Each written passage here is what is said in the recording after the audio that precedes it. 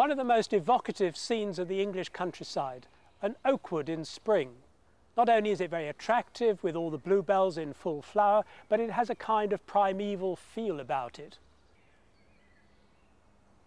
But I wonder really, how natural is it? I mean, one of the things that surprises me looking around is that all the oaks appear to be of an age. I can't see any dead and decaying trees. There are no giants of the forest lying dead on the ground, and neither can I see any young trees or saplings come to that. And that I think is surprising because if a woodland is a self-regenerating community, I would expect to see the next generation coming up. And indeed, the, this lack of regeneration is one of the things which has been worrying foresters quite a bit recently. And I think it would be interesting to explore that a little bit further.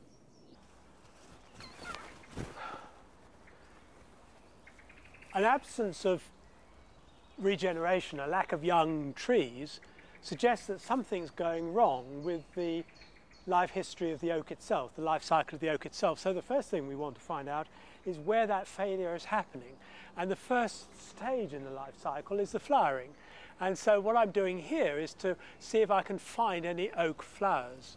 Now, what I've found first is the remains of this year's male flowers hanging in the catkins. So there's no absence of, of male flowers. There's this year's dead catkins.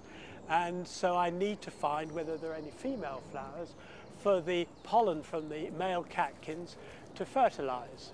And for that I need to look at the tips of the shoots amongst the leaves and yes, lo and behold, there is a nice spike of young oak female flowers which have been pollinated and already there and set to develop into acorns uh, during the summer. So we've got flowers. Do we have any acorns? Well, the next um, stage is to look for acorns, and of course at this time of year, we're at the third week in May, there are no young acorns, so I have to look for last year's, last autumn's acorns amongst the leaf litter.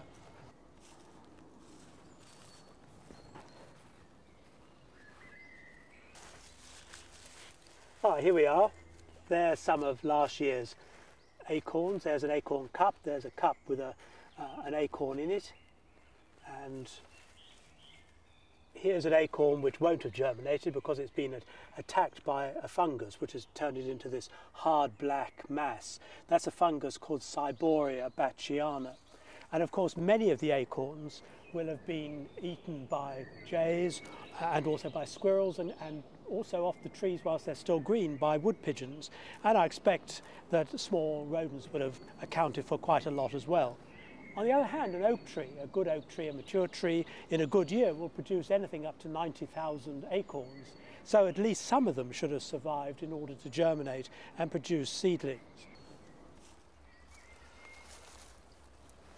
Well, here's a, a nice little crop of this year's oak seedlings and some of them here look extremely healthy.